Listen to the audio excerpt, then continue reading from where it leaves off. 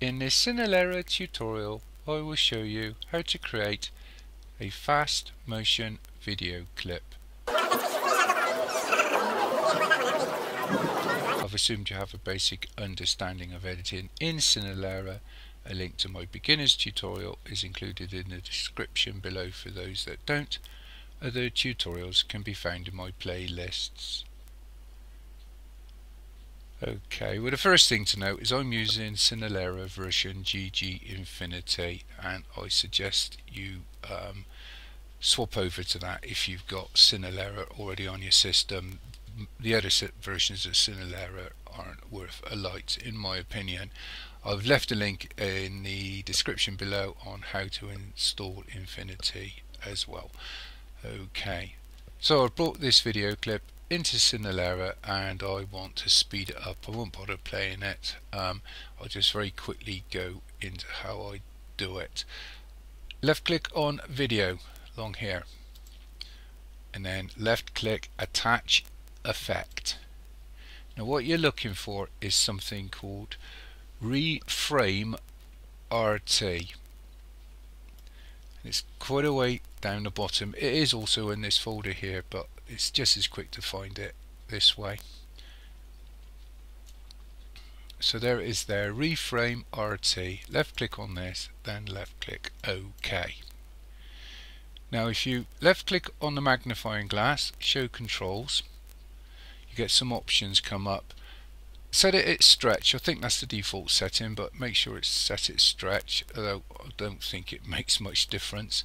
And what you're looking to do is keep the input frames at 1 and what you're looking to do is literally reduce the output frames. So in this instance I've changed this to 0.5 you can left click on these arrows here or you can manually type in a speed but your pointer must be in the outputs box. The minute you move it away you won't change anything. So if I wanted to take this down that's fine. Move it away I can't add anything until it's over the output frames box. And I'll left click on this. Now I know from experience this will work so I won't bother playing it back without any audio. Um, and that might be fine for you. You might want to render fast forward without audio and that's done in the render box. But if you want to render the audio as well left click on audio and next to effect, attach effect left click. And this time you're looking for resample RT and again it's down the bottom and I'll probably go straight past it until I find it. There you are resample RT left click on this and left click OK. Now just check that you've got strips on both your audio if you haven't you'll have to right click on the track that hasn't got anything and then go into attach effect and manually attach another uh, resample uh, track. But in this instance this worked. Occasionally it doesn't.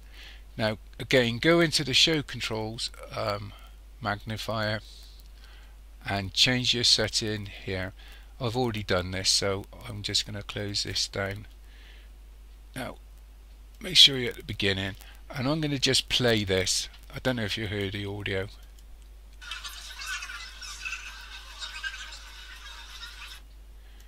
But this happens because we've reduced the length of the visible clip you'll end up with a black section here you can remove it. But to be honest with you unless you've got a really long clip what I would do is literally just go in and render your video. So I'll go ahead and quickly render this. Um, and I'll come back to it in a minute. Okay well that's finished rendering. Is I've called it fast 2 for some reason or another I wouldn't even bother bringing it back in and changing all this. What I would literally do is just go into file and then left click new project. Make sure your settings match the original video and left click OK and then literally just bring your video back in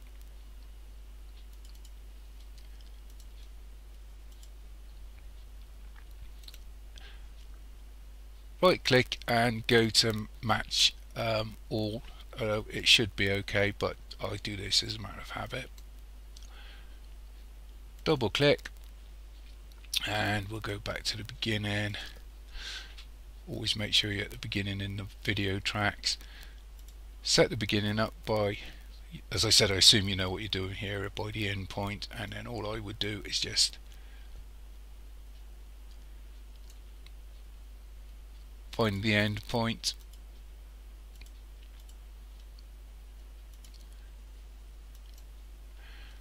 And now you're good to go and render your video without the um, black section at the end. I shan't bother doing this but the video you'll see and you saw in the beginning of the tutorial will be this video here as it's rendered now. So hopefully this helps somebody. Thank you for watching. Cheers